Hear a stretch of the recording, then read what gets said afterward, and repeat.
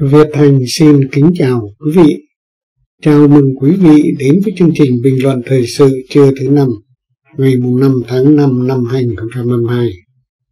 Thưa quý vị, trong chương trình bình luận thời sự hôm nay, chúng tôi tới với quý vị hai chủ đề chính. Chủ đề thứ nhất liên quan tới tình hình kinh tế, xã hội và chính trị ở Việt Nam.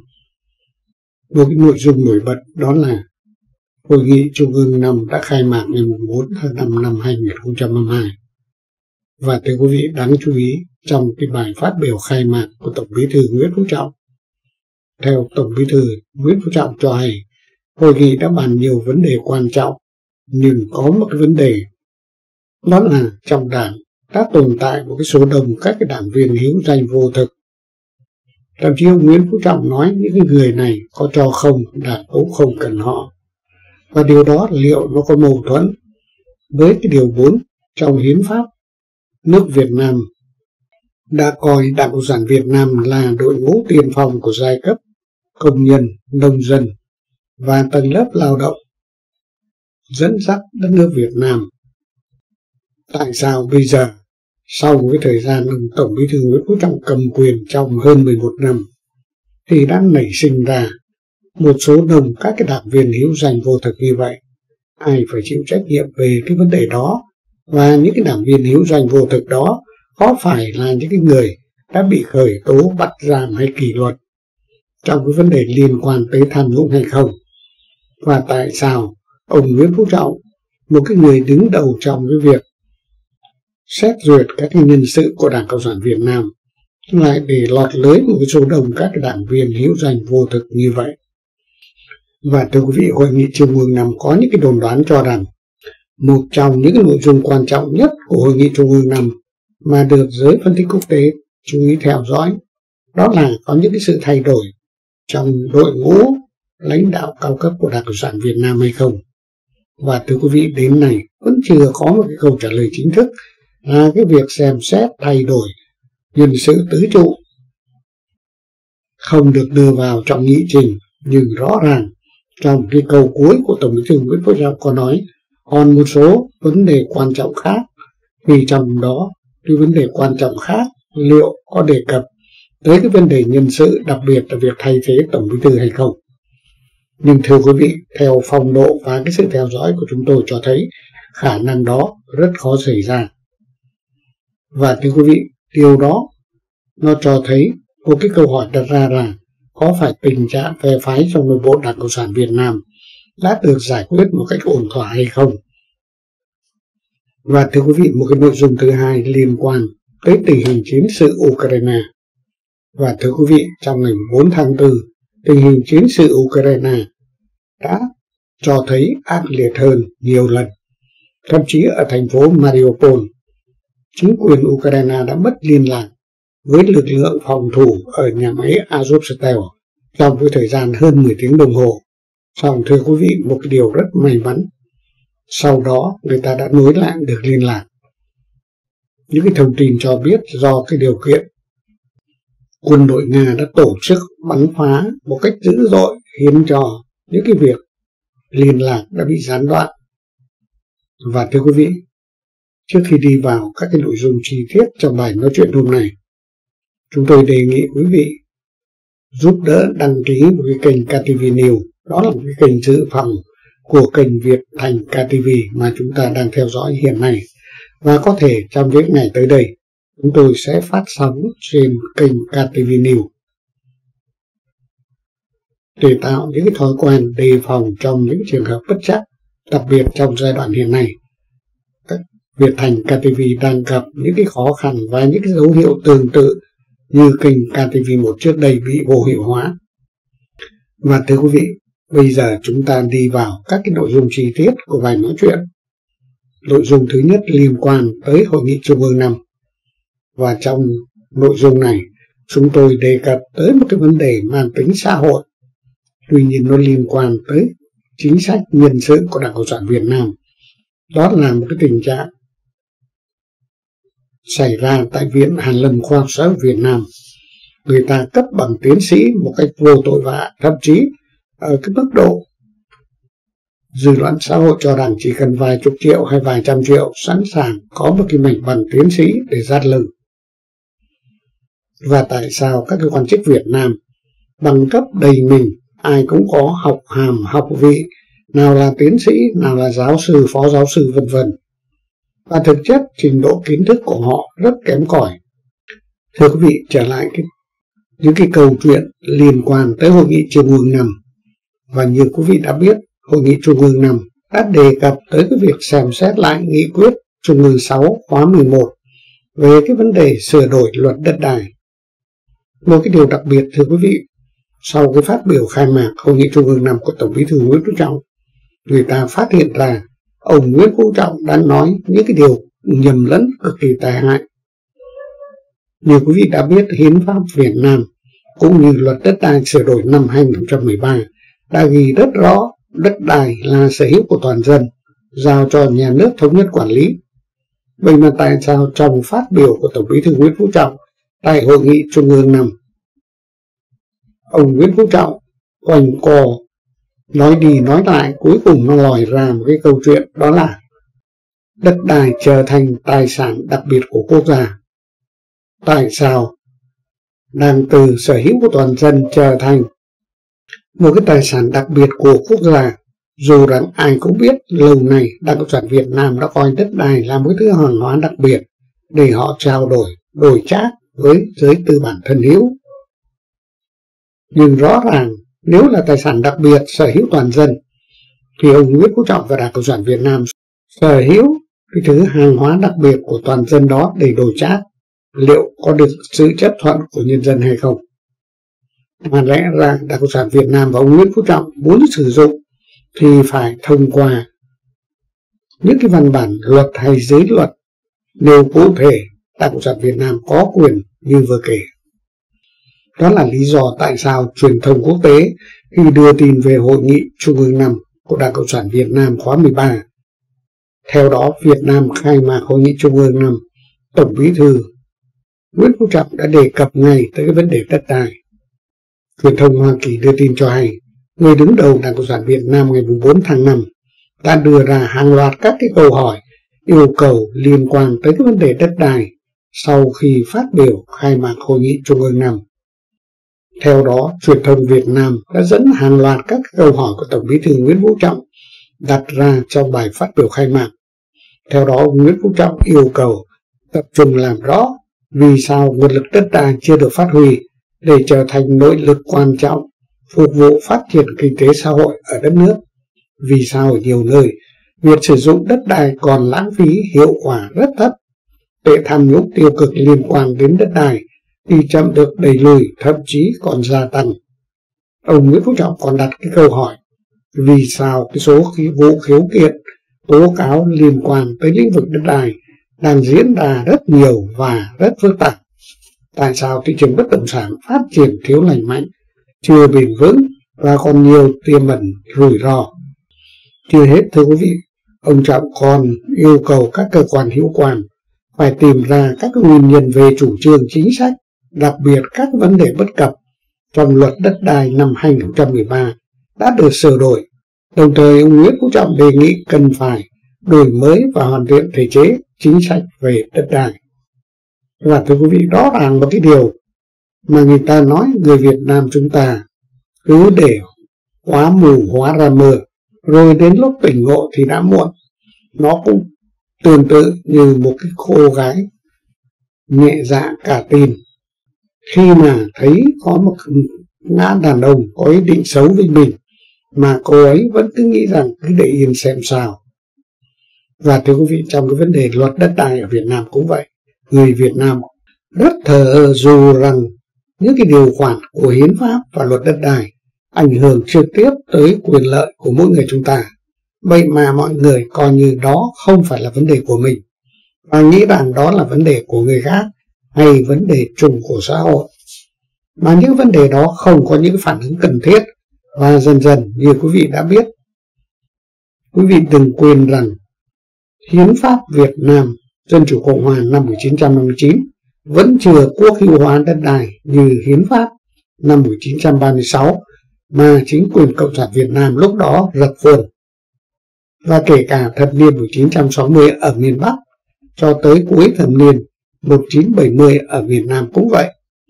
Dù rằng ruộng đất của nông dân đã bị buộc phải đưa vào các cái tập đoàn hợp tác xã nhưng đất đai chỉ trở thành sở hữu toàn dân kể từ năm 1980. Cụ thể là hiến pháp năm 1980 mới là lần đầu tiên chính thức khẳng định đất đai thuộc sở hữu của toàn dân. Và thưa quý vị, trong cái vấn đề bàn bạc về cái việc sửa đổi, điều này nó cũng liên quan tới cái nghị quyết Trung ương 6 khóa 11 của Đảng Cộng sản Việt Nam liên quan tới cái vấn đề sửa đổi luật đất đai và như quý vị đã biết chiều ngày 18 tháng 1 năm 2021 tại Đại hội Đảng Cộng sản Việt Nam lần thứ 11 còn một cái phiên họp do Tổng Bí thư Nguyễn Phú Trọng chủ trì. Và thưa quý vị, lúc đó ông Nguyễn Phú Trọng vẫn trên cương vị là Chủ tịch Quốc hội. Đại hội Đảng đã biểu quyết lựa chọn giữa cái chế độ công hữu về tư liệu sản xuất và một cái điều kiện đó là quan hệ sản xuất tiến bộ phù hợp. Tại cái buổi bỏ phiếu lựa chọn như vậy, ông Nguyễn Phú Trọng đã hứa với đại hội 11 thiểu số sẽ phục tùng đa số. Vậy mà thưa quý vị sau đó tháng 5 năm 2012, Ban chấp hành Trung ương, ông Nguyễn Phú Trọng đã trở thành Tổng Bí thư, vẫn quyết định duy trì một cái chế độ công hữu đối với đất đai. Đối với một cái tư liệu sản xuất được coi là quan trọng nhất. Thưa quý vị, những điều vừa kể những ai chưa tìm thì có thể đọc trong cái cuốn Bên thắng cuộc tập 2 của nhà báo Huy Đức. Tuy nhiên, thưa quý vị, mới đây, Tổng bí thư Nguyễn Phú Trọng cũng nhắc nhở các cái cơ quan chức năng phải chú ý đến những cái vướng mắc mà dư luận xã hội bức xúc. Mà theo ông Nguyễn Phú Trọng, chẳng hạn như nhận thức như thế nào cho thật đầy đủ, đúng đắn về sở hữu toàn dân. Đối với cái vấn đề đất đai mà nhà nước làm đại diện chủ sở hữu, phải làm đó quyền hạn trách nhiệm của nhà nước với vị trí vai trò là đại diện chủ sở hữu để thể hiện các chức năng, nhiệm vụ thống nhất quản lý của nhà nước về đất đai và khi là chủ thể sử dụng đất. Những cái điều vừa kể có nghĩa là Tổng bí thư Nguyễn Phú Trọng đã đề cập tới cái điều 4 luật đất đai năm 2013 là một cái vấn đề nổi cộm nhất trong chính sách đất đai Việt Nam. Điều đã gây ra những cái oan sai trái ngang rất nhiều vốn bị các nhà phản biện xã hội phản đối mạnh mẽ và nó là nguồn gốc của mọi nguồn gốc liên quan tới cái vấn đề tranh chấp xung đột liên quan tới đất đai tại Việt Nam. Và thưa quý vị, bằng giờ này năm ngoái, đó là tháng 5 năm 2021, thì ứng cử đại biểu Quốc hội khóa 15 tại tỉnh Bà Rịa Vũng Tàu, Phó Thủ tướng Phạm Bình Minh đã hứa với các cử tri rằng sẽ trình Quốc hội khóa 15 nhanh chóng sửa đổi bộ luật đất đai. Theo ông Phạm Bình Minh nói, sửa luật đất đai là một trong những nhiệm vụ trọng tâm của chính phủ. Đồng thời vẫn theo Phạm Bình Minh, dự kiến luật này sẽ trình Quốc hội khóa 15 trong cuối năm 2021, chậm nhất là đầu năm 2022. Và thưa quý vị, trong khi đó, truyền thông quốc tế coi cái vấn đề tranh chấp đất đai giữa chính quyền và người dân trở thành những vấn đề nóng bỏng trong xã hội Việt Nam hiện nay, đặc biệt liên quan tới nông dân. Và điều đó đã dẫn tới những cái vụ cưỡng chế gây thương tích, thậm chí chết người. Hẳn quý vị chưa quên, đó là các cái vụ đồng tâm dương nội hay thủ thiêm. Và đó là lý do tại sao trong báo cáo nhân quyền tại Việt Nam năm 2020, Bộ Ngoại giao Hoa Kỳ đã thẳng thắn chỉ trích, nói vấn đề tranh chấp liên quan tới việc thu hồi đất để phát triển các dự án là một cái nguyên nhân dẫn tới khiếu kiện lớn của công chúng Việt Nam. Trong báo cáo của Bộ Ngoại giao Hoa Kỳ nhấn mạnh, nhà cầm quyền Việt Nam đã bắt và kết án nhiều người biểu tình về quyền đất đai với tội danh chống người thi hành công vụ hay gây rối trật tự công cộng là những cái điều cần phải xem xét lại. Và thưa quý vị, ngoài cái vấn đề đất đai, Hội nghị Trung ương năm, theo Nguyễn Phú Trọng cho biết sẽ bàn thảo về các cái đề án xây dựng liên quan tới cái vấn đề xây dựng tổ chức cơ sở đảng và đảng viên. Đề án thành lập ban chỉ đạo cấp tỉnh về phòng chống tham nhũng tiêu cực. Ngoài ra, còn xem xét những cái báo cáo kiểm điểm sự lãnh đạo chỉ đạo của Bộ Chính trị và Ban Bí thư. Và thưa quý vị, rõ ràng những cái vấn đề liên quan tới nhân sự chủ chốt, nhân sự lãnh đạo, đặc biệt nhân sự tứ trụ không được đề cập tới. Và điều đó trái với những cái thông tin trước đây tiết lộ mà truyền thông quốc tế và trong nước nhấn mạnh hội nghị trung ương năm sẽ có những cái sự thay đổi quan trọng về mặt nhân sự liên quan tới chức danh tổng bí thư. Và thưa quý vị, bỗng nhiên những cái điều dự báo trước đây đã không trở thành hiện thực. Một cái câu hỏi đặt ra là vậy có phải ông Nguyễn Phú Trọng đã dàn xếp trong nội bộ Đảng Cộng sản Việt Nam thỏa thuận những cái điều gì đó bí mật trong cung đình? Một cái điều quan trọng hơn là liệu có phải tình trạng phe phái ở trong đảng đã được ông Nguyễn Phú Trọng dàn xếp ổn định. Nó khác với những cái điều mà giới phân tích đưa ra. Các cái thông tin, các cái tài liệu cho thấy một cái cuộc đấu rất quyết liệt giữa chính phủ và đảng. Đó là đảng quyền và pháp quyền. Mà cụ thể ở đây là quyền lực của cơ quan hành pháp, tức chính phủ. Và thưa quý vị, truyền thông quốc tế quan tâm tới cái phát biểu khai mạc Hội nghị Trung ương năm của Tổng Bí Thư.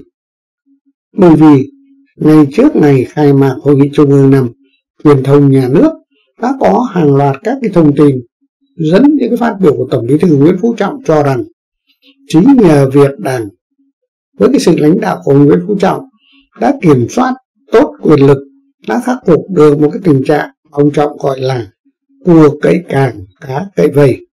Theo giới phân tích quốc tế, ông Nguyễn Phú Trọng nói rõ, tức không còn tình trạng phe phái nội bộ trong đảng và hoàn toàn kiểm soát được quyền lực. Đó là một cái nét mới trong công tác kiểm tra, giám sát công tác phòng chống tham nhũng tiêu cực ở trong đảng. Thưa quý vị, có thực tế, ông Nguyễn Phú Trọng đã làm chủ được cuộc đấu và kiểm soát được quyền lực, buộc cho các đối thủ chính trị của ông, đặc biệt là Thủ tướng Phạm Minh Chính, phải im lặng hay không. Thực tế thì ra sao? Rõ ràng, theo giới phân tích, ông Trọng đang lấy số lượng để thay cho chất lượng, tức là lấy số mới bị bắt gần đây để nói rằng ông đã kiểm soát được quyền lực trong đảng một cách trọn vẹn. Điều này là một cách tiếp cận theo giới phân tích rất sai lầm. Bởi vì để kiểm soát quyền lực thì lẽ ra ông Nguyễn Phú Trọng cùng với lãnh đạo cao cấp của Đảng Cộng sản Việt Nam phải làm ngay từ ban đầu. Tức là phải làm cách triệt để rõ ràng, không có vùng cấm, không có vùng tránh và không có nhân nhượng. Chứ không phải ông Nguyễn Phú Trọng đợi đến khi tham nhũng tràn lan phá nát kinh tế xã hội, rồi lúc đó mới phát động một cái chiến dịch đốt lò, bắt bớ bỏ tù, quan chức. Mà theo giới phân tích đó là những cái biện pháp ngụy biện gọi là đảo ngược nhân quả. Một cái vấn đề thứ hai đó là việc khởi tố bắt giam. Các cái quan chức lãnh đạo, đặc biệt các tướng lĩnh của quân đội, thực chất nó chỉ là cái câu chuyện bề nổi. Bởi vì ông Nguyễn Phú Trọng và ban lãnh đạo Đảng Cộng sản Việt Nam không thể phớt lờ đặc biệt trước hội nghị trung ương năm này. Tuy nhiên ông Nguyễn Phú Trọng muốn đánh lừa và thuyết phục người dân Việt Nam về cái tính chính danh của họ. Đó là lý do Nguyễn Phú Trọng khoe với dân rằng ông vẫn nắm giữ quyền lực và kiểm soát được quyền lực ở trong đảng. Tức là kiểm soát quyền lực nội bộ của họ với nhau, chứ không phải kiểm soát quyền lực trong toàn bộ xã hội. Và thưa quý vị, theo nhà báo độc lập Nguyễn Ngọc trả lời với Đài Á Châu Tự Do cho biết việc bắt bớ bỏ tù các quan chức vừa qua rất nhanh, rất nhiều. Điều đó thể hiện ông Nguyễn Phú Trọng và ban lãnh đạo Đảng sản Việt Nam đã làm rất mạnh tay, nhưng việc bắt bớ đó nó càng bộc lộ cho dư luận xã hội thấy rằng các cái phản phái ở trong đảng người ta đang thanh trừng, giành giật quyền lợi dưới một cái vở kịch gọi là chống tham nhũng. Đặc biệt theo trong những chính sách tiêu diệt các cái tỷ phú và đại gia gần này. Đó là các nhân vật như Trịnh Văn Quyết, Đỗ Anh Dũng, vân vân và vân vân. Điều đó đã khiến cho dư luận xã hội nghi ngờ. Tại sao những cái tỷ phú đại gia, những cái doanh nghiệp sân sau của các cái quan chức Việt Nam bất ngờ xuất hiện, lợi dụng chính sách đất đai để làm giàu. Người ta không rõ tài năng của các cái nhân vật bị bắt giữ vốn liếng của họ ra sao Vậy mà trong cái thời gian dài, hàng chục năm, truyền thông nhà nước và báo chí liên tục tung hồ trở thành những cái nhân vật được cho là đóng góp tích cực cho xã hội. trong việc phát triển đất nước. Vậy mà đột nhiên bắt bớ với những cái tội danh cho là liên quan tới cái vấn đề tham nhũng. Và rõ ràng dư luận xã hội đặt ra một cái câu hỏi nếu không có cái sự bảo kê chống lưng từ những thế lực siêu quyền lực ở trong đảng thì những cái nhân vật như Trịnh Văn Quyết, Đỗ Anh Dũng có làm được như vậy hay không? Từ đó nó có nghĩa là những cái tỷ phú, những cái đại gia hiện nay họ phải dựa vào những cái vầy, những cái càng của con cua con cá. Đó là cái gọi kiểm soát được quyền lực, kiểm soát được tình trạng mà ông Nguyễn Phú Trọng nói thì đã hết tình trạng cua cái càng cá cái vây rồi. Những cái điều vừa kể để cho thấy nó chỉ là một cái hiện tượng bề nổi chứ không phải là một cái hiện tượng thật sự mang tính bản chất.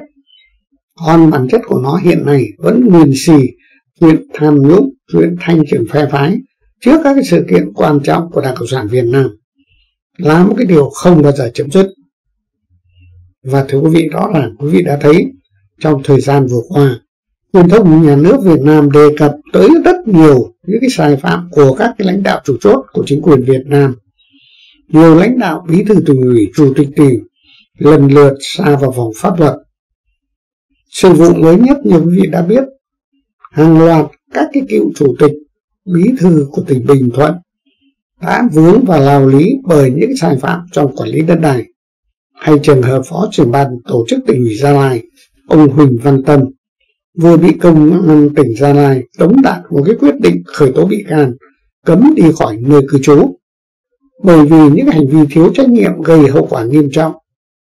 Mới nhất, như quý vị đã biết, cựu thứ trưởng bộ y tế ông trường Quốc Cường cùng với 13 người khác bao gồm các cái cơ quan chức y tế và hải quan sẽ phải hầu tòa vào ngày 12 tháng 5 tới đây trong một cái vụ án dài dẳng, gần 10 năm. Đó là cái vụ án buôn bán thuốc chữa ung thư giả của công ty VN Pharma một cái sân sau của Bộ trưởng Bộ Y tế bà Nguyễn Thị Kim Tiến và thưa quý vị những cái thông tin mới nhất chúng tôi được biết bà Nguyễn Thị Kim Tiến hiện nay đang ở Pháp những cái hình ảnh đăng trên trang Facebook cá nhân của bà Nguyễn Thị Kim Tiến cho thấy bà Nguyễn Thị Kim Tiến vẫn sinh sống bình thường và bình an vô sự. Đặc biệt thưa quý vị trong cái thời gian gần đây, tại sao hàng loạt các tướng công an quân đội đã bị sờ tới, bị kỷ luật hay khởi tố bởi những cái vụ việc liên quan tới vấn đề tham nhũng.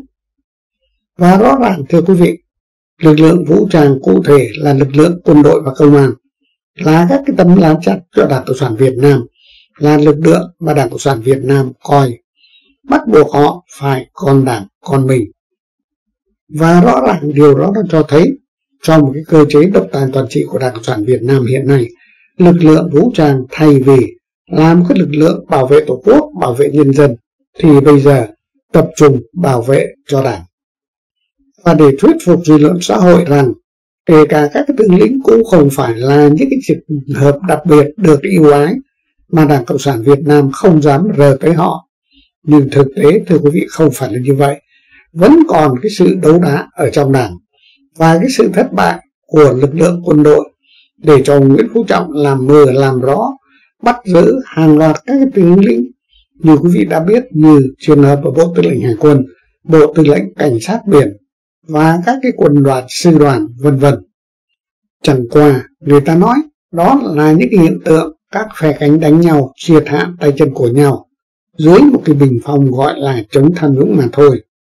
Đó là lý do với một cái thể chế chính trị như Việt Nam hiện nay, quân đội không phải là một cái lực lượng bảo vệ an ninh lãnh thổ và sự tồn vong của đất nước mà bảo vệ trực tiếp cho những phe cánh ở trong bảng nắm quyền lực.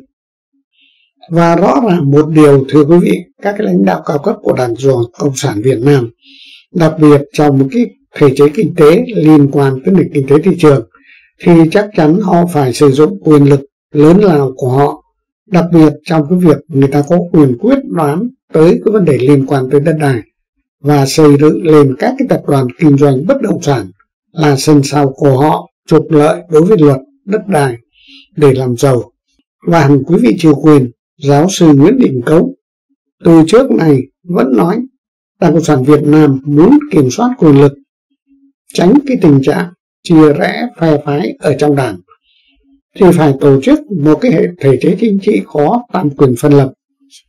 Vậy mà Đảng Cộng sản Việt Nam đi ngược lại trào lưu tiến bộ của xã hội, chủ trương chống tạm quyền phân lập. Đó là lý do giáo sư Nguyễn Đình Cấu đã khẳng định rằng lãnh đạo Đảng Cộng sản Việt Nam họ nói họ kiểm soát được quyền lực ở trong đảng. Đó là họ buộc phải nói như vậy, chứ thực chất cách tổ chức hoạt động của Đảng Cộng sản Việt Nam hiện nay nó mất kiểm soát của Trung ương đối với các địa phương, đặc biệt trong nội bộ lãnh đạo. Cá mẹ một lứa thì không có cách gì ông Nguyễn Phú Trọng có thể kiểm soát quyền lực một cách tuyệt đối, bởi vì quyền lực ấy tập trung vào một cái lãnh đạo duy nhất của đảng. Đó là Nguyễn Phú Trọng, nhưng ông Nguyễn Phú Trọng đã không đảm bảo uy tín để thực hiện điều vừa kể. Và thưa quý vị, nhiều người cứ nói Can TV hay đề cập tới những thói hư tật xấu của Tổng bí thư Nguyễn Phú Trọng mà không chỉ là những cái điều tốt, những cái thành tựu mà ông Nguyễn Phú Trọng đạt được đặc biệt trong công cuộc chống tham nhũng. Thưa quý vị, sau đại 12 như quý vị đã biết, ông Nguyễn Phú Trọng đã chính thức phát động một cái phong trào chống tham nhũng trong nội bộ Đảng Cộng sản Việt Nam. Và theo giới phân tích đó là một cái bản sao của chiến dịch đốt lò. Thực chất là từ cái kế hoạch đả hổ diệt rồi ở Trung Nam Hải mang về. Và thưa quý vị, sau khi chiến thắng của Nguyễn Tân Dũng sau đợt 12, loại được một cái đối thủ chính trị đã đích ông Nguyễn Tân Dũng về vườn làm người tử tế, thì ông Nguyễn Phú Trọng đã tiến hành một cái gọi là công cuộc chống tham nhũng. Nhưng rõ ràng như quý vị đã thấy, chủ yếu tập trung vào các nhân vật liên quan tới cựu Thủ tướng Nguyễn Tân Dũng lần lượt xa lưới pháp luật, trong khi các nhân vật cộm cán hơn nhiều lần tham nhũng lớn hơn Đình Lạt hàng vạn vạn lần, cho tới nay vẫn bình an vô sự. Xong một cái điều quan trọng đó là chính sách nhân sự của Tổng bí thư Nguyễn Phú Trọng kể từ đại hội 12 cho tới nay. Có một điều mà theo giới phân tích rất dở đó là Nguyễn Phú Trọng ruộng hình thức. Đó là lý do vì sao các cơ quan chức Đảng Cộng sản Việt Nam đặc biệt từ đại hội 12 cho tới nay người ta thấy bằng cấp học hàm, học vị đầy mình. Những cái cạc visit của các cái quan chức lãnh đạo Việt Nam, thậm chí phải in hai mặt để thể hiện các cái chức danh của họ. Và thưa quý vị, tất cả những cái danh hiệu giáo sư, tiến sĩ, thạc sĩ, vân vân và vân vân, thực chất nó là một cái công nghệ nhân bản mà người ta nhân một cái chính sách nhân sự của tổng bí thư nguyễn phú trọng. Đó là đòi hỏi nhiều bằng cấp hơn. Thậm chí theo giới nghiên cứu giáo dục ở Việt Nam cho hay, ở Việt Nam tồn tại một cái công nghệ nhân bản giáo sư tiến sĩ mà cái học giả ở Việt Nam đã sử dụng trong nhiều năm qua trong đó, một luận án tiến sĩ đã được người ta thay bìa, rồi sửa đổi chút chút nội dung ở bên trong dưới cái hình thức gọi là nghiên cứu sinh. Họ cho các cái nghiên cứu sinh sao chép sửa đổi, rồi biến thành một cái đề tài mới nhưng thực chất ở bên trong thì toàn bộ đi đạo văn của người khác. Và thưa quý vị, không thể tin nổi với cái cách làm nghiên cứu sinh sao chép sửa đổi như vậy mà hàng chục, hàng trăm, thậm chí hàng chục nghìn các cái tiến sĩ, thạc sĩ đã được tốt nghiệp và cấp bằng. Đó là cái lý do theo giới phân tích. Với một cái công nghệ nhân bản giáo sư tiến sĩ như ở Việt Nam hiện nay, thì có lẽ chính quyền Việt Nam không phải chi một cái khoản ngân sách khổng lồ tới 14.000 tỷ đồng để đào tạo 20.000 tiến sĩ như một cái kế hoạch cách đây 10 năm. Mà chỉ cần chi vài chục triệu, cao lắm là tới 100 triệu để cho những cái đối tượng muốn có những cái bằng cấp học hàm học vị chỉ cần mua giấy máy photocopy rồi sau đó thuê người copy thành 20.000 bản. Điều đó tiết kiệm được cho ngân sách nhà nước và một cái điều chắc chắn thỏa mãn cho Nguyễn Phú Trọng là Việt Nam là một quốc gia có nhiều tiến sĩ nhất thế giới để có thể sánh vai cùng thế giới. Thưa quý vị, cái tình trạng bằng giả, bằng thật, bằng thật học giả nó là một cái tình trạng phổ biến ở Việt Nam hiện nay. Đó là lý do tại sao thầy giáo Thái Hạo mới đây đã cho rằng những cái vụ nhân bản giáo sư tiến sĩ này nó đã giúp cho Nguyễn Phú Trọng phá nát tận máu nền giáo dục và học vấn của Việt Nam. theo nhà giáo Thái Hạo viết, ngay cách người ta đặt tên cho đề tài, đã thấy nó sai bè bè sai bét, thậm chí người ta không quan tâm, không hiểu nội dung của một cái đề tài nghiên cứu sinh cho chức danh tiến sĩ ra sao. Mà bây giờ họ đơn giản hóa, họ vô tư copy hàng chục, có khi là hàng trăm, hàng nghìn. Các cái đề tài của người khác, góp nhặt rồi bỏ vào trong cái hồ sơ để cho ra lò cái gọi là tiến sĩ. Thưa quý vị, cái tình trạng gọi là tiến sĩ giấy ở cuối thế kỷ thứ 19 đầu thế kỷ 20, cô Tam Nguyên Điên Đổ, tức Nguyễn Quyến đã từng viết hai bài thất ngôn bát cú vịnh tiến sĩ giấy. Hẳn quý vị chưa quên, và đó là lý do dư luận xã hội cho rằng bây giờ mà cụ Tam Nguyên Điên Đổ còn sống chắc sẽ là một ngàn bài vị hội đồng chuột Hàn Lâm khoa học nơi mà có khả năng thông qua tới 18 đề tài tiến sĩ trong một ngày. Thưa quý vị, trong một cái bài viết của nhà báo Mai Bá Kiếm với cái tựa đề chó đẻ ra cái hội đồng chuột ấp ra tiến sĩ giấy đăng trên trang Facebook cá nhân. Theo nhà báo Mai Bá Kiếm, ngày xưa có vài ngàn nghề thi trong cái kỳ thi hội nhưng chỉ có vài chục thí sinh có khả năng đỗ tiến sĩ mà thôi.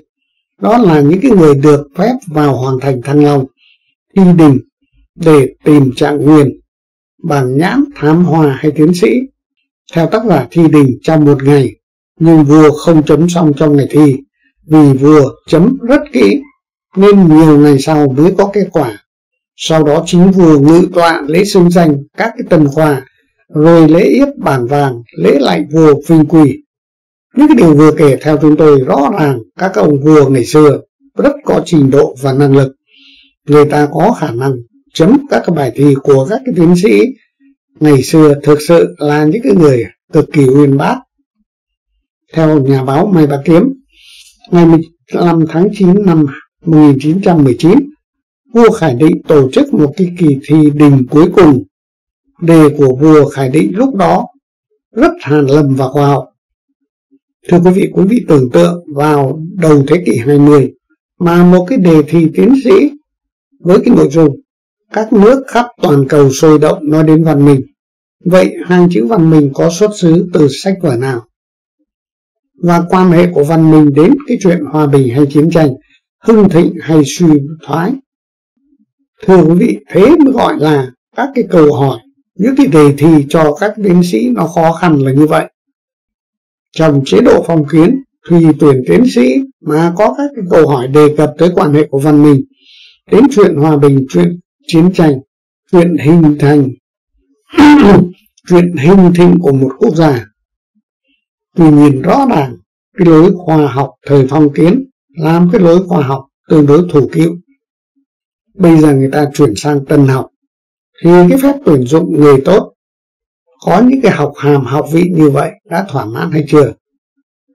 Theo tác giả, quốc sự quốc chính nó phải thay đổi, do đó sau này người ta quản trị quốc gia theo chính thể Cộng Hòa, người ta lập ra hiến pháp và hiến pháp lập ra có thực hiện được hay không, chính sách lập hiến quyền pháp như thế nào, làm gì để đền đáp sức dân, giúp dân an cư lạc nghiệp, giữ gìn văn hóa văn minh tiến bộ của tổ tiên.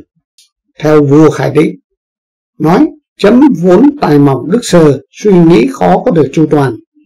Các người với tài kinh luận vốn có của mình, hãy thử trình bày rõ ràng chữ giải của mình. Ở đây không được bè phái, không được thiên lệch, không được a dua, quanh co xuyên tạc, sai sót. Khi đem thực hành cũng đừng quá khéo, dùng những cái lời lẽ bày bướm mà chấm rỗng. Chẳng có được phương sách gì hay để giúp cho chấm thù lượng rồi thử áp dụng. Thưa quý vị, giám khảo là nhà vua Khải Định. Những cái đề thi hay như vậy, vậy mà cụ Tam Nguyên Liên Đổ còn trừ cái khoa thi này cụ tam nguyên Liên Đổ viết nghe nói khoa này sắp đổi thi các thầy đồ cổ đỗ màu đi dấu không bia đá còn bia miệng vứt bút lồng đi rắc bút chỉ và người ta suy nghĩ không hiểu đến bây giờ, cụ tú còn sống thì sẽ trừ cái đề tài tiến sĩ vô dụng như thế nào và thưa quý vị, trong hai ngày hôm nay, truyền thông nhà nước đã đưa tin và người ta lưu truyền một cái văn bản được cho là một cái đề tài nghiên cứu sinh tiến sĩ đó là đề tài nghiên cứu giải pháp phát triển một cầu lông cho công chức viên chức thành phố tỉnh Sơn La. Đó là đề tài của nghiên cứu sinh Đặng Hoàng Anh do hai giáo sư tiến sĩ Lưu Quang Hiệp và Đặng Văn Dũng hướng dẫn. Rồi thưa quý vị, người ta đi vào trong cái cổng thông tin của Viện Hàn Lâm Khoa học Xã hội có các cái đề tài như Đảng bộ tỉnh Thanh Hóa xây dựng tổ chức cơ sở đảng xã phường thị trấn từ năm 2005 tới năm 2015 hay một cái đề tài Đảng bộ tỉnh Nghệ An lãnh đạo công tác xây dựng tổ chức cơ sở đảng ở phường xã thị trấn từ năm 2005 đến năm 2015. Thưa quý vị, nội cái tiêu đề nó đã giống nhau, nó thành mỗi cái chữ Thanh Hóa và Nghệ An. Điều đó chứng tỏ người ta lấy cái đề tài của một nghiên cứu sinh liên quan tới đảng bộ tỉnh Thanh Hóa và thay hai chữ Nghệ An. Thế là xong một đề tài tiến sĩ. Rồi lại có những cái đề tài ví dụ như đảng bộ tỉnh Nghệ An lãnh đạo thực hiện chính sách xã hội ở các huyện miền núi trong giai đoạn 2001 đến năm 2010. Nó người ta không phân biệt một cái đề tài nghiên cứu sinh với cái trình độ tiến sĩ nó khác với một cái báo cáo của cán bộ xã như thế nào. Và thưa quý vị, những cái đề tài được cho là nghiên cứu sinh tiến sĩ như chúng tôi vừa kể.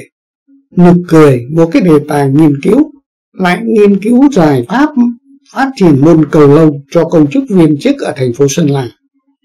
Quý vị nghĩ gì cái ông nghiên cứu sinh Đặng Hoàng Anh nhưng một cái điều đáng sỉ nhục hơn là tại sao hai giáo sư tiến sĩ Lưu Quang Hiệp và Đặng Văn Dũng lại hướng dẫn cái đề tài nực cười như vừa kể.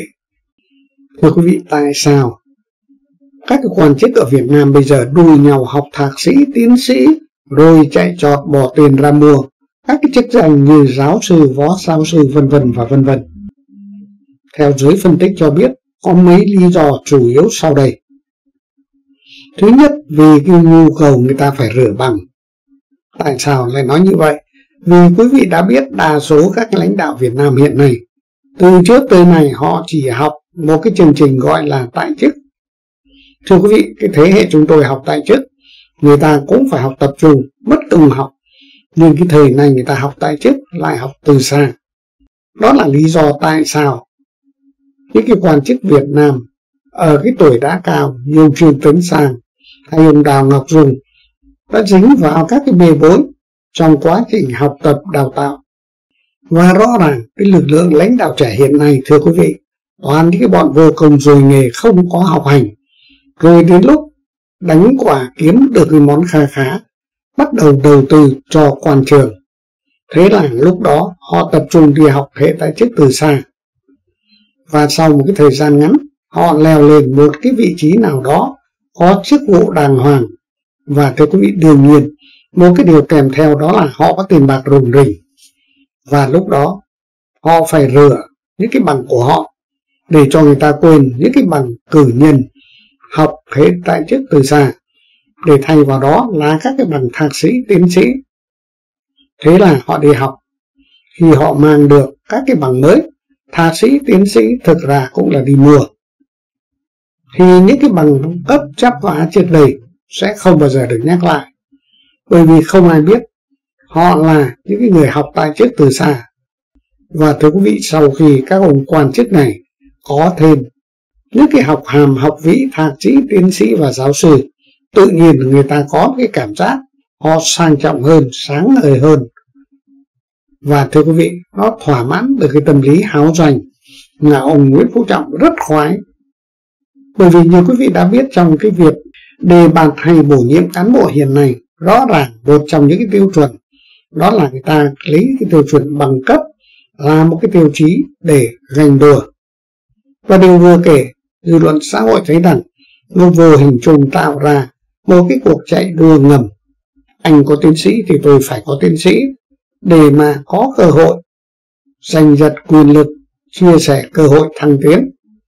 Và thưa quý vị, nguyên nhân của mọi nguyên nhân chính là ngành tổ chức đã tạo ra một cái tình trạng các cán bộ Việt Nam hiện nay đi tìm hiểu và mua bán các cái bằng cấp học hàm học vị và ông Nguyễn Phú Trọng phải là người chịu trách nhiệm bởi vì công tác nhân sự của ông Nguyễn Phú Trọng hoàn toàn sai lệch. Như quý vị đã biết, ở các cái nước văn minh tiến bộ, người ta lấy hiệu quả công việc để xem xét đề bạt bổ nhiệm nhân sự. Nhưng ông Nguyễn Phú Trọng lựa chọn nhân sự lại theo các tiêu chí. Đặc biệt cái vấn đề bằng cấp là một trong những yếu tố hàng đầu. Bởi vì ở Việt Nam như quý vị đã biết, trong vấn đề cạnh tranh về quyền lực rõ ràng không có cái môi trường cạnh tranh đàng hoàng. Và cuối cùng phán xử là những cái nhân sự phụ trách công tác tổ chức người ta lợi dụng, lựa chọn để xem ai có bằng cấp hơn ai để mặc định theo một cái suy nghĩ là người có bằng tiến sĩ nhất định có trình độ năng lực hơn những cái anh thạc sĩ hay cử nhân và thưa quý vị, tất nhiên bên cạnh bằng cấp nó còn có một số điều kiện ở bên lề mà quan trọng hơn cả, đó là tiền. Và đó là lý do tại sao một cái cuộc đua phổ cập, thạc sĩ, tiến sĩ, thậm chí tới cái mức giáo sư phó giáo sư nó chỉ diễn ra trong cái khối công chức ăn lương ngân sách mà thôi. Và các cái lãnh đạo đảng cộng sản việt nam cũng nằm trong cái số vừa kể. Một cái nguyên nhân thứ ba, người ta thích đi học bởi vì ở việt nam bây giờ đi học lấy bằng quá dễ dàng, thạc sĩ bây giờ thậm chí còn dễ hơn lấy bằng cử nhân và bằng tiến sĩ cũng tương tự, miễn là có tiền. Nhiều tiền thì nhanh hơn. Nếu mà bộ giáo dục việt nam thắt chặt các cái điều kiện đầu vào đầu ra, thi cử một cách nghiêm túc như thời gian trước đây, thì giới phân tích giáo dục cho biết lập tức số người có ý định theo học sẽ giảm xuống rất nhiều bởi vì bây giờ chỉ cần bỏ ra một vài trăm triệu có tất cả các học hàm học vị cần thiết. Trong khi đó ngược lại, thưa quý vị, việc cho ra lò được bao nhiêu thạc sĩ tiến sĩ trong một năm, nó lại trở thành một chỉ tiêu thi đua là thành tích của các cái đơn vị đào tạo. Ví dụ như Viện Hàn Lâm Khoa học Xã hội vừa qua, trong một ngày duyệt 22 hay 18 đề tài. Và đó là những cái cơ sở để làm ăn tăng thu nhập cho giảng viên. Nó như cái thời ngày xưa người ta gọi là làm kế hoạch bà mà thôi. Và thưa quý vị, rõ ràng trong cái cơ chế thị trường có nhu cầu lập tức sẽ có cung. Và đó là lý do tại sao các cái quan chức Việt Nam đua nhau đi học mà không học, có bằng thật nhưng không có kiến thức là như vậy. Và thưa quý vị, có lẽ cái câu chuyện liên quan tới cái vấn đề giáo dục hay các cái thông tin liên quan tới hội nghị trung ương năm chúng tôi xin tạm dừng tại đây để chuyển sang một cái chủ đề liên quan tới tình hình chiến sự Ukraine. Và thưa quý vị, chỉ còn vẹn vẹn 4 năm ngày nữa, ông Putin và quân đội Nga đang tìm kiếm những cái tham vọng giành được cái thắng lợi để báo cáo trong cái lễ duyệt binh hùng tráng mừng chiến thắng phát xít ngày 9 tháng 5 tới đây. Và rõ ràng, thưa quý vị, sau gần 3 tháng phát động chiến tranh vào Ukraine kể từ ngày 24 tháng 2 cho tới nay, rõ ràng những cái mục tiêu ban đầu của ông Putin và quân đội Nga đối với Ukraine đã phá sản. Thực chất ai cũng biết những cái mà ông Putin gọi là phi quân sự hóa, phi phát xít hóa ở Ukraine là một cái cớ chẳng có tí tì nào thuyết phục được dư luận. Nhưng điều đó nó giúp cho Putin phát động một cái chiến dịch quân sự đặc biệt tại Ukraine. Bởi một cái động cờ chính của Putin đó là tham vọng mở rộng bờ cõi của nước Nga. Và rõ ràng thưa quý vị, sau giai đoạn 1 và giai đoạn 2, đại quân Nga bị thua liền xiềng trước một cái lực lượng quân đội Ukraine được cho là yếu hơn gấp 10 lần. Vậy mà sau hơn 2 tháng giao tranh, những cái mục tiêu đánh chiếm lãnh thổ Ukraine bình định trong cái thời gian ngắn xây dựng một cái chính quyền bù nhìn thân Nga ở Ukraine cuối cùng đã thất bại và ban lãnh đạo Nga đã phải thu nhỏ mục tiêu bây giờ là giải phóng vùng Donbass phía đông Ukraine bao gồm hai tỉnh Lugan và Donetsk. Trong những ngày mới đây, thậm chí có những người lạc quan cho rằng quân đội Ukraine với cái sự hỗ trợ tích cực của phương Tây và Hoa Kỳ có khả năng đánh bật quân đội Nga ra khỏi bờ cõi trước ngày 24 tháng 2. Thậm chí có những ý kiến lạc quan tới mức thu hồi khu vực hai nước Cộng hòa ly khai ở miền Đông cũng như bán đảo Crimea. Bởi vì rõ ràng thưa quý vị, với một cái mục tiêu cho, cho là xóa bỏ nhà nước tân phát xít Ukraine, thì nước Nga đã thể hiện rõ bản chất của họ là tham vọng về lãnh thổ. Họ không chỉ đánh chiếm khu vực miền Đông Donbass, mà họ đánh chiếm cả miền Nam Ukraine. Với cái mục tiêu họ chiếm trọn sở hữu biển Azov, biển đen, và điều đó sẽ khiến cho Ukraine không còn kinh tế biển và điều đó sẽ làm suy yếu kinh tế Ukraine. Và nếu như quân đội Nga xâm lược Ukraine thành công, thì Ukraine mất tất cả. Và thưa quý vị, ngày duyệt bình đã đến sát. Những cái mục tiêu đánh chiếm lãnh thổ Ukraine đã quá xa vời. Và rõ ràng những thiệt hại nặng nề của quân đội Nga trên chiến trường Ukraine trong giai đoạn 1 và hiện nay là đang giai đoạn 2 rõ ràng cho thấy để giành được những cái mục tiêu mà ông Putin và quân đội Nga mong muốn không phải là một câu chuyện dễ dàng, đặc biệt trong cái điều kiện nước Nga đã bị Hoa Kỳ và phương Tây cấm vận nặng nề như hiện nay. Do đó, trong những ngày gần đây, quân đội Nga đang cố đấm ăn sôi, nỗ lực tấn công các cái mặt trận trên chiến trường Ukraine trong một cái điều kiện hết sức bất lợi. Vì quý vị đã biết các cái vũ khí hạng nặng và tối tân nhất của Hoa Kỳ và phương Tây đã cập bến Ukraine và đã dần dần xuất hiện ở một số chiến trường. Trong khi đó, như quý vị đã biết, có những cái tin đồn liên quan tới sức khỏe của ông Putin có vấn đề nghiêm trọng. Và nếu như những cái tin đồn ấy là đúng, và ngay cả đó chỉ là những cái tin tức mà theo giới chức tình báo cho biết, ông Putin và ban lãnh đạo Nga muốn đồn để tạo ra những cái bước đệm tiếp theo giúp cho ông Putin có thể hạ cánh một cách an toàn. Điều đó nó tạo điều kiện cho quân đội Nga rút lui, đỡ khỏi bé mặt. Bởi vì nếu tiếp tục cuộc chiến đẫm máu ở Ukraine hiện nay một cách ngừng quyền, thì rõ ràng quân đội Nga không có cửa thắng. Nhưng bây giờ cứ bình tĩnh hạ nhiệt lui bình thì rõ ràng là một cái điều sỉ nhục đối với ông Putin và quân đội Nga. Đặc biệt trong cái việc quân đội Nga lâu ngày vẫn cứ sử dụng cái chiêu bài tên lửa hạt nhân để hù dọa thế giới bây giờ đã không ai lo sợ, thậm chí người ta còn khinh thường.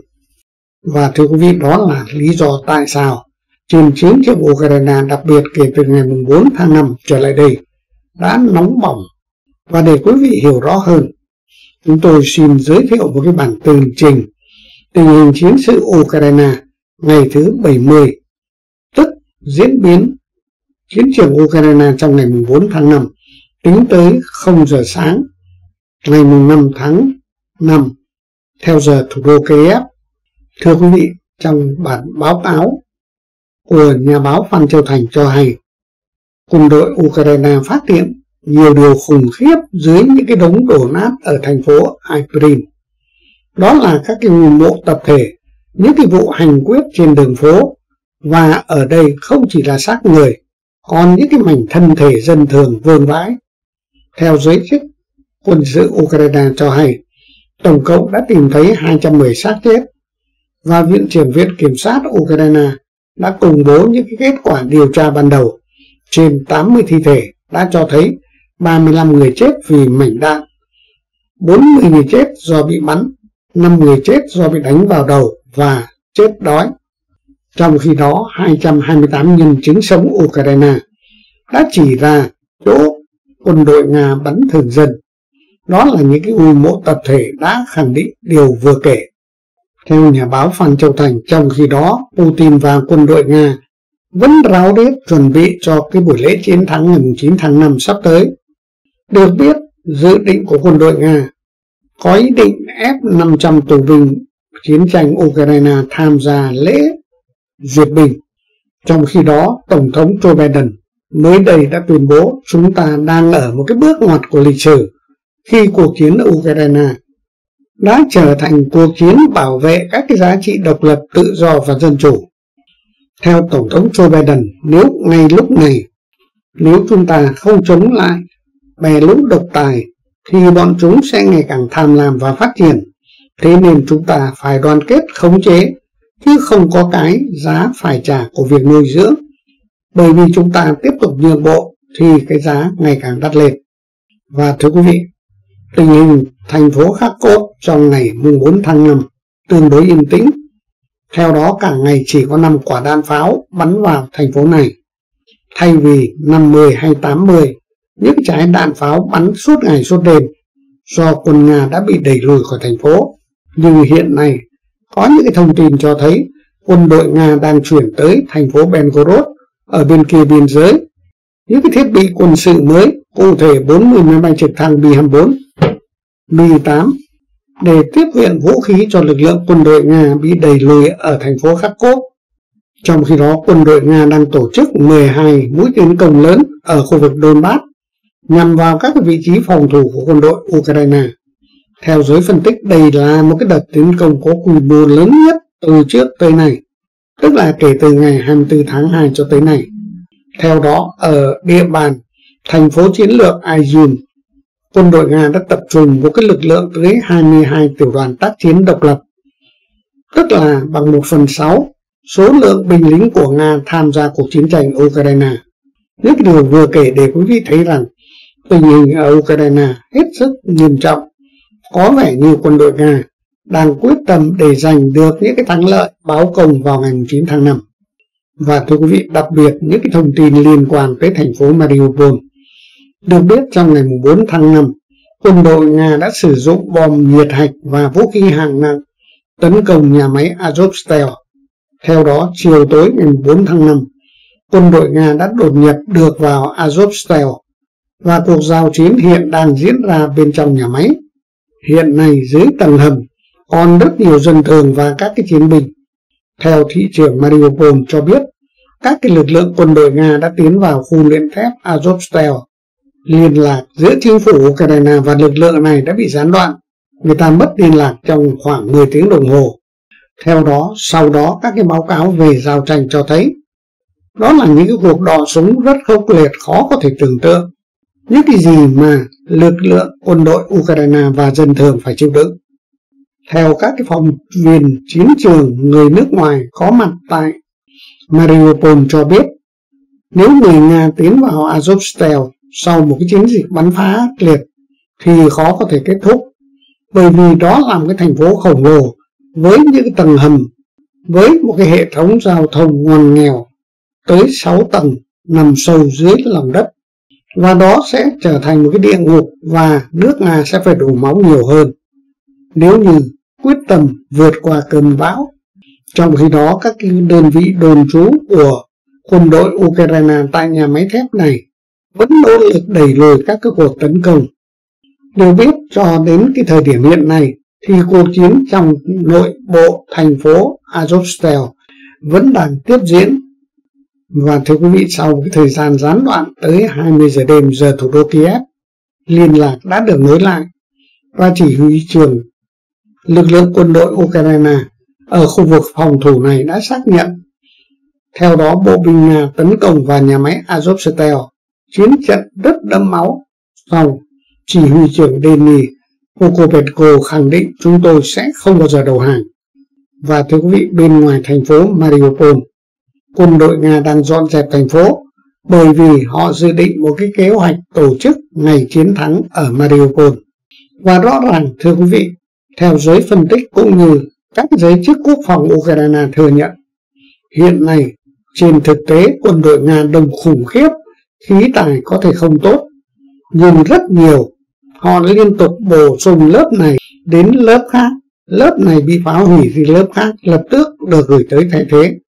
nhìn nhìn rõ ràng, quân đội Nga đã nhận những tổn thất khủng khiếp, nhưng các tướng lĩnh chỉ huy Nga vẫn xuôi lính tiến lên, bất chấp thiện hại nặng nề cho tới đầu.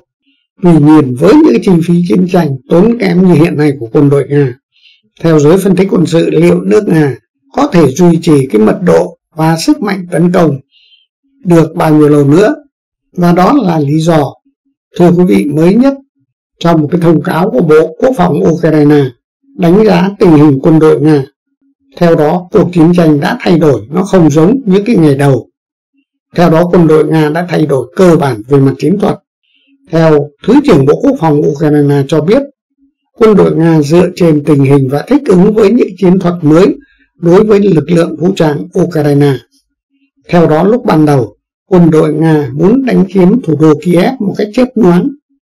Đó là lý do quân đội Nga đã tung vào chiến trường Kiev những cái lực lượng tình nguyện nhất nhưng đã bị bẻ gãy.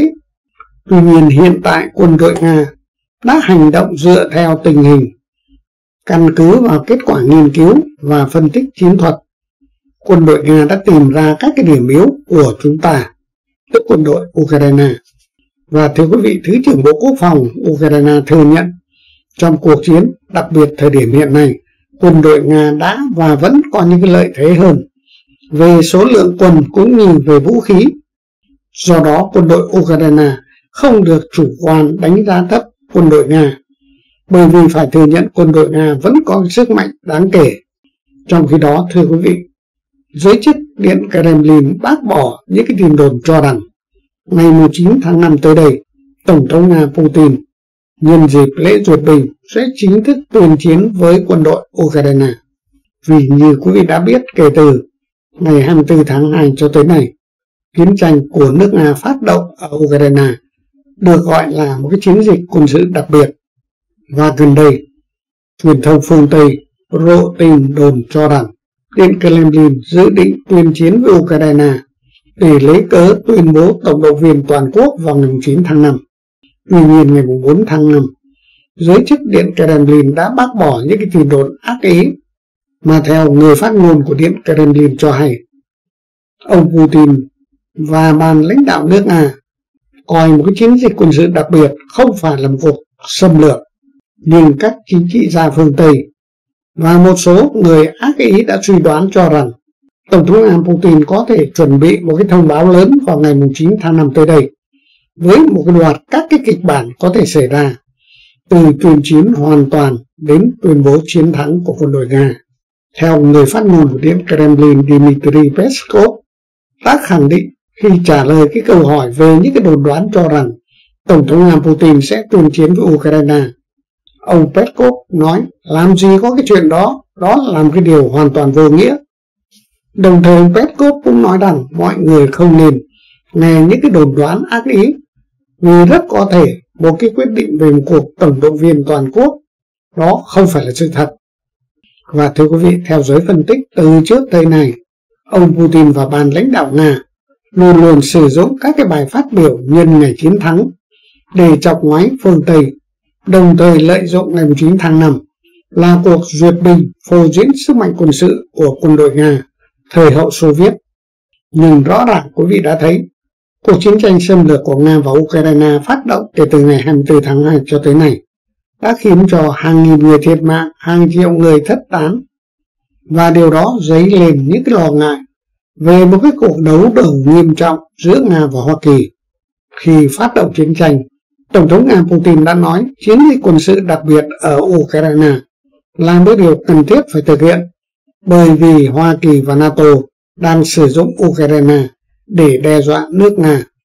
Đó là lý do quân đội Nga phải bảo vệ những người Ukraine nói tiếng Nga bị chính quyền phát xít đàn áp. Và thưa quý vị, ở đây phải nói rõ, trong cái cuộc chiến tranh với Ukraine, nước Nga nhiều lần đã bị phương Tây lừa. Thậm chí đến bây giờ ông Putin và quân đội Nga thừa nhận đã bị NATO và Hoa Kỳ lừa đưa vào cái trận chiến như hiện nay. Đó là lý do liên quan tới cái thông tin về việc Tổng thống Nga Putin nhân lễ chiến thắng sẽ tuyên bố chiến tranh chính thức Ukraine để lấy cớ tổng động viên. Nhiều báo chí đã dẫn thông tin từ truyền thông Ukraine cho biết đã có những cái kế hoạch chính thức của ông Putin và chắc chắn Putin sẽ tuyên bố. Thậm chí bình luận về những cái tin tức tương tự, nhiều báo chí phương Tây trong những ngày gần đây còn tuyên truyền những cái công bố rùng rợn hơn. Đó là sau đó Nga sẽ tuyên truyền trực tiếp với phương Tây. Trong một cái diễn biến khác, những cái nỗ lực của quân đội Nga liên tiếp thông tin về cái việc đánh phá thành công các cái đầu mối đường sắt ở khu vực phía tây Ukraine để ngăn chặn đường tiếp vận các cái vũ khí của phương Tây và Hoa Kỳ chuyển cho Ukraine. Và rõ ràng, theo giới phân tích, những cái điều vừa kể để cho thấy quân đội Nga vẫn chiếm thế thượng phòng trên chiến trường Ukraine và mọi thứ diễn biến vẫn tốt đẹp, đặc biệt trong một cái ma trận thông tin như hiện nay. Một chuyên gia phân tích chính trị và quân sự Nga gần đây đã thừa nhận cuộc chiến của Putin đã đi vào ngõ cụt không có lối thoát. Và bây giờ việc tổng động viên ở trong nước là một cái lối thoát cho Putin. Nhưng nếu như Putin quyết định như vậy thì chắc chắn tạo ra một cái hậu quả rất xấu. Rồi nó xảy ra ra sao? Ít ngày nữa quý vị sẽ thấy kể từ đầu cuộc chiến cho tới nay rõ ràng Tổng thống Hoa Kỳ đã chơi một cái trò lấu cá. Đó là nhiều lần khích cho Putin đánh Ukraine, rồi tạo nên một cái sự kiện thảm sát ở Busa. Và điều đó như một cái dòng chảy tạo ra những cái buộc bước ngoặt của cuộc chiến tranh. Rồi tiếp đó làm cái dòng chảy khác, đó là dòng chảy vũ khí hạng nặng của phương Tây cung cấp cho Ukraine, cùng với các tuyên bố cứng rắn của lãnh đạo Anh và Hoa Kỳ. Mà thực chất, giới chức lãnh đạo phương Tây muốn công bố cho người dân Nga biết những tuyên bố của Tổng thống Nga Putin chủ yếu là nhắm tới nhân dân Nga mà thôi. Đó là lý do vì sao nước Nga thường xuyên có các cái tuyên bố về chiến tranh hạt nhân, chiến tranh thế giới thứ ba, với những cái mối đe dọa của phương Tây. Và thưa quý vị, mượn gió bẻ măng, truyền thông phương Tây đã lợi dụng những cái thông tin vừa kể để tạo nên những cái sức nặng, gây sức ép với ông Putin và chính quyền Nga. Trong khi đó cái bộ sậu của ông Putin hiện nay, một cái phe diều hầu chủ chiến và cái sự dồn ép đặc biệt dư luận quốc tế gây nên những cái sự bối rối đáng kể cho ban lãnh đạo Nga. Điều đó nó dẫn tới một cái tình trạng theo giới phân tích. Bây giờ Putin tổng động viên cũng chết mà không tổng động viên, cứ để chiến tranh trong tình trạng giờ hơi như hiện nay rồi cũng chết. Trong khi đó cái phe bồ câu chủ hòa trong điện Kremlin đang có những hoạt động ráo riết để chấm dứt chiến tranh. Đặc biệt đối với giới tài phiệt Nga hiện nay, thực sự là lo lắng. Bởi vì cái hậu quả của nó như thế nào? Thì rõ ràng giới tài phiệt Nga và đa số các tướng lĩnh quân đội Nga kể cả các cái tướng lĩnh ngự hưu hoàn toàn không ủng hộ kéo dài chiến tranh. Đó là lý do truyền thông phương Tây đã tung ra các cái thông tin một cách đều đặn theo chủ ý mang tính chất dồn ép tạo sức ép lên chính giới và nội bộ nước Nga hiện nay và những cái điều vừa kể để ép buộc Putin phải ra lệnh tổng động viên là một lần nữa Putin lại mắc bẫy để phục vụ cho một cái ý đồ mà phương Tây và Hoa Kỳ muốn đánh quỵ hẳn nước Nga. Và thưa quý vị, nếu Putin không tỉnh táo vào cái thời điểm hiện nay thì thất bại là một cái điều chắc chắn. Và thưa quý vị, rõ ràng nước Nga từ một cái thái độ hùng hổ, bất chấp phát động một cái cuộc chiến tranh vô cớ vào Ukraine để rồi cuối cùng nhận những cái chiến quả đáng thất vọng. Đó là lý do người ta nói nước Nga của Putin từ vai trò của một kẻ săn mồi mà bây giờ bỗng chốc trở thành một cái con mồi. Đó là một bài viết của tác giả Đỗ Nga đăng trên trang Facebook cá nhân. Theo tác giả, dù là mãnh hổ hay mãnh sư, nhưng nếu bị cắt đứt nguồn thức ăn thì nó cũng sẽ trở thành một cái miếng mồi ngon cho kền kền, thậm chí là mồi cho những con vật nhỏ nhất như ruồi hay rời bọ. Đó là quy luật tự nhiên. Quy luật này đã được con người áp dụng vào các cái cuộc chiến tranh để có thể quyết định thay đổi cục diện. Chính nhờ nó mà những cái kẻ yếu đã quật ngã những cái tên khổng lồ hơn mình gấp nhiều lần. Ngược dòng lịch sử theo tác giả vào năm 2020 tại trận chiến Quang Độ, Tào Tháo đã dùng 7 vạn quân đánh bại Viên Thiệu 70 vạn quân ở trong tay. Rõ ràng cuộc chiến Tào Tháo và Viên Thiệu là một cái cuộc chiến không cân sức, nhưng kẻ thắng lại là kẻ yếu hơn. Và một nguyên nhân cơ bản là do Tào Tháo phá được kho lương của Viên Thiệu. Đơn giản như vậy mà thôi. Những cái câu chuyện vừa kể theo tác giả Đỗ Nga, dù thời nào thì kế hoạch cắt nguồn lương thực của địch luôn luôn làm cái kế hoạch mang tính hiệu quả cao. Nó có khả năng triệt hạ sức mạnh của kẻ thù.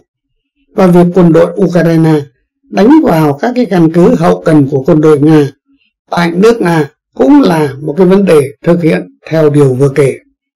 Và rõ ràng nó thực hiện và đạt được những cái hiệu quả trông thấy. Điều đó đã giúp cho quân đội Ukraine ngày càng chủ động hơn trong một cái cuộc chiến đấu không cân sức. Trong khi đó, ở một tầm cao hơn, Hoa Kỳ và NATO đang áp dụng các biện pháp cấm vận để bóp bao tử của người Nga. Và một khi kinh tế Nga bị kiệt quệ, thì rõ ràng một cái hệ quả là nguồn tiền nuôi sống của chính quyền Nga, nuôi sống quân đội Nga cũng bị bóp chặt lại. Và đó là một cách gián tiếp làm suy yếu nội lực của quân đội Nga, khiến cho quân đội Nga nhanh chóng rệu rã, bởi vũ khí của họ vốn đã lạc hậu, cần phải nhiều tiền hiện đại hóa. Tuy nhiên, với cái việc kinh tế Nga đã bỏ đói chìm miền quân đội, thì nước Nga khó có cơ hội hiện đại hóa để có theo kịp các cái cường quốc khác trong tương lai.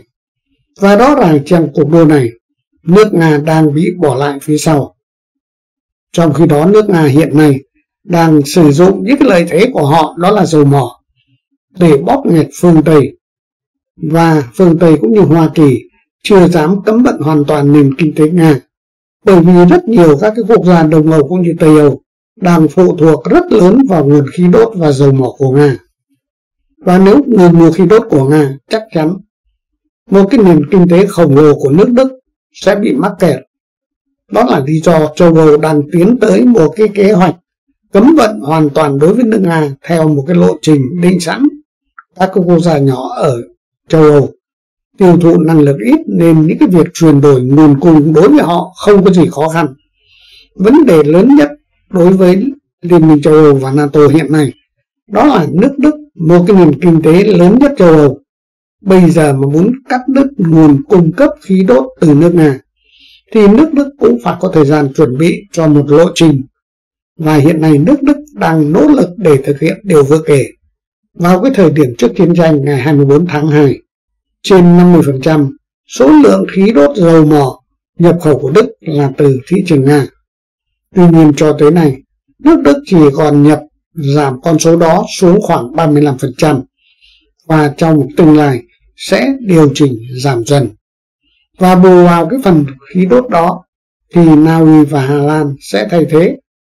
Với nguồn dầu mỏ, Đức nhập từ Nga trước chiến tranh 12%, nay giảm xuống đợt 8%.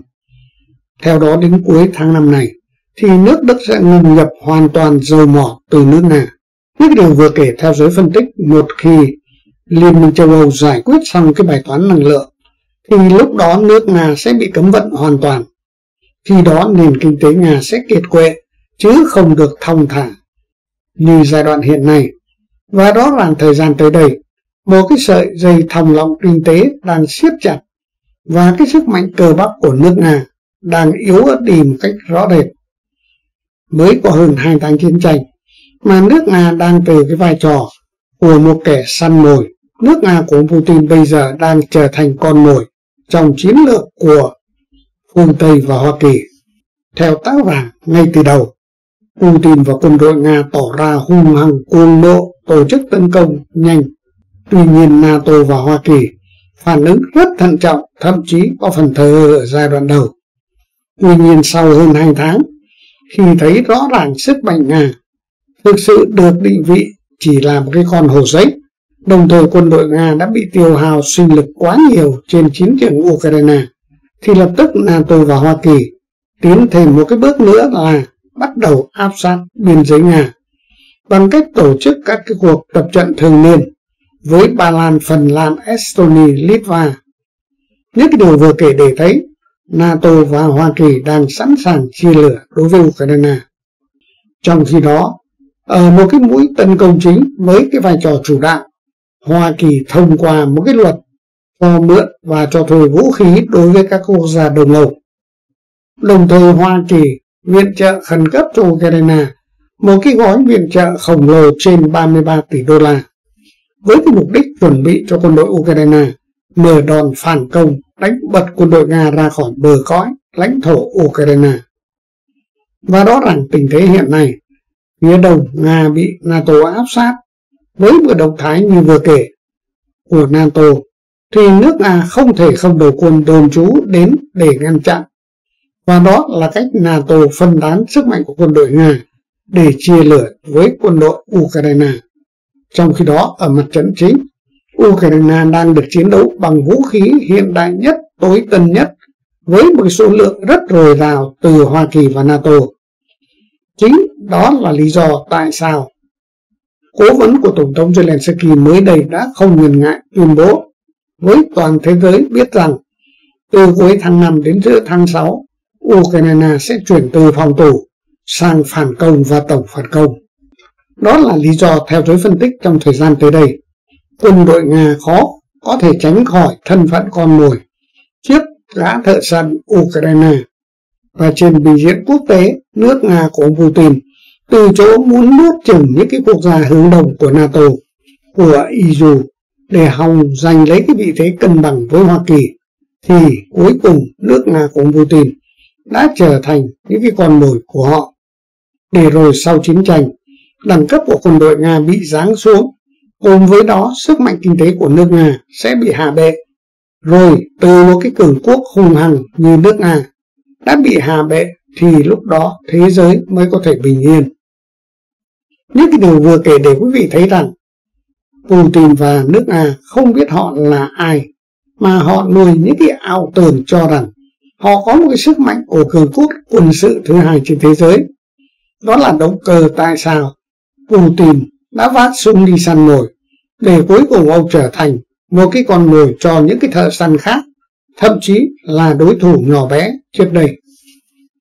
Trong khi đó chính ông Putin đã tạo cho Hoa Kỳ và NATO những cái cơ hội để hạ bệ nốt cái vai trò cường quốc quân sự mà nước Nga thừa hưởng sau khi Liên Xô sụp đổ.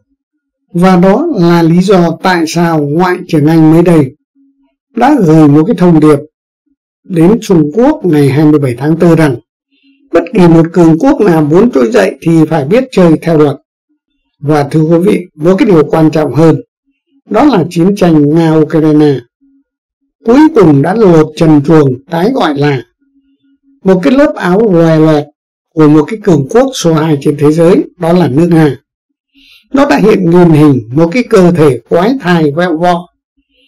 Một cái điều từ xưa đến nay nhiều người tự hào về nước Nga, và cả thế giới cũng lầm tưởng, thậm chí e sợ nước Nga.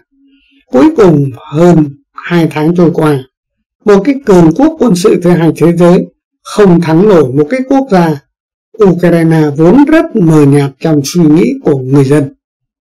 Và cuộc chiến tranh của Nga-Ukraine nó đã bộc lộ những cái hình ảnh quân đội Nga thề thẳng. Đó là một quân đội ăn cướp, không có sức chiến đấu. Nó trái ngược với những hình ảnh trong ký ức về Hồng quân Liên Xô, vốn được nhà nước Nga và khối Cộng sản tô vẽ lung linh. Cuối cùng nó được lột trần bây giờ. Quân đội Nga thừa hưởng một cái truyền thống của Hồng quân Liên Xô chỉ là một cái đội quân ô hợp rệu rã và mất nhân tính.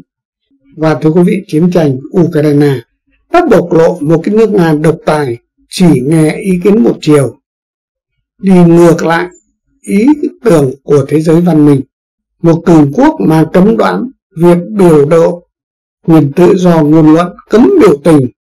Cường quốc cái nỗi gì mà run sợ trước các ý kiến trái chiều cường quốc cái nỗi gì mà không dám để người dân thực hiện cái quyền biểu tình để thể hiện những cái điều người ta suy nghĩ và một cái điều chúng ta phải thừa nhận sự hy sinh của người dân và quân đội Ukraine tới giờ phút này nó hoàn toàn không hề uổng phí mà điều đó đã giúp cho loài người tỉnh thức chiến tranh giúp cho cả thế giới văn minh đoàn kết lại để bảo vệ Ukraine điều đó đồng nghĩa với cái việc bảo vệ tự do và dân chủ Do đó, bất kỳ ai ủng hộ Ukraine chống lại những con ngáo ộp như nước Nga là một cái điều cần thiết và là thể hiện sự yêu chuộng hòa bình. Thưa quý vị, chương trình bình luận thời sự của KTV xin tạm dừng tại đây. Việt Thành xin cảm ơn và xin hẹn gặp lại quý vị trong các chương trình bình luận thời sự sau. Xin gửi lời chào, tạm biệt. Bye bye quý vị.